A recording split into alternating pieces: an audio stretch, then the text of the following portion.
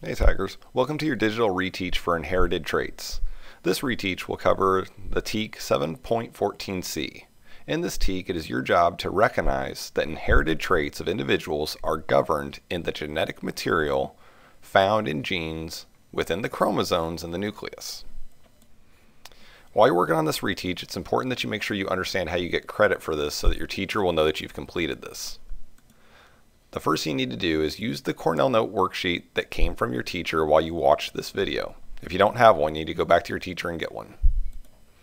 Take notes, answer the questions, and write your summary. When you're finished, show your completed Cornell Note worksheet to your teacher. They will then give you information about your next opportunity to retest. As we begin, it's important that we make sure we just start with the basics and understand what an inherited trait is.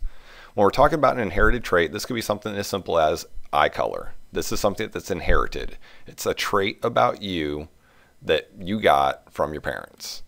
It could be something like the complexity of your skin in terms of freckles or not. It could be something as simple as even the color of coat or the stripes that are on a you know a tiger. These are all inherited traits. Even something as simple as the long neck of a giraffe. That is an inherited trait something you could actually characterize them by that is unique to that organism that came from their parents. So earlier we mentioned that a lot of this is done by genes. And that's something that we say a lot without thinking about what they really are. So let's make sure we also know what a gene is. A gene is a single section of DNA on a chromosome that has genetic information for just one trait and that chromosome can be found inside the cell nucleus. So if you look at this picture, you got this long strand of DNA, and within a section of that DNA is the gene.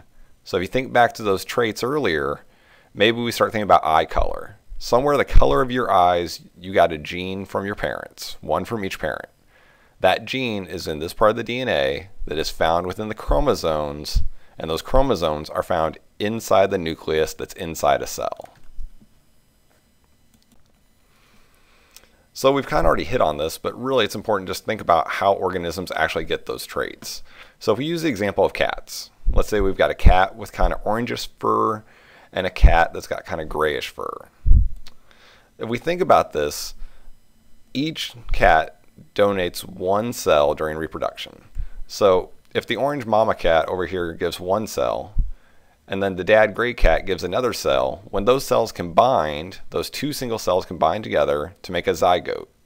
Here you can see the gene for orange and the gene for gray, and this combines to get ready to make another offspring. The end result is a cat that does indeed have one of those traits. In this case, the orange fur went out, and now we've got a kitten that has that trait. He got that because of the genes from each one of the parents. Now, in terms of testing this concept, this is just a sample question. The Texas Education Agency did use this one as an example on a STAAR test a couple years back. So this question states that three cousins have a similar appearance but different face shapes. So as we look at the different faces on the cousins, we need to start thinking about which of these cell components are most involved in determining the basic shape of each girl's face. This is actually one of those questions that you probably don't even need the pictures of the girls, to be honest. You just need to think about what you know about what was on those previous slides we just looked at. So we start looking at it. On your notes, you're going to write down your answer, but I also want you to write down a couple of the wrong answers and think about a reason why it's wrong and list that. I'll give you a really, really, really simple one. Um, I'm just going to flat out tell you the answer choice D is wrong. And if we start thinking about why this is wrong, I'm just going to say that the only thing in here that makes any sense at all is chromosomes. And the fact that chloroplast and vacuoles was never mentioned before is a major problem. On top of that, chloroplast is kind of found in plant cells, not human cells. So in this case, there's no genetic makeup to be had there.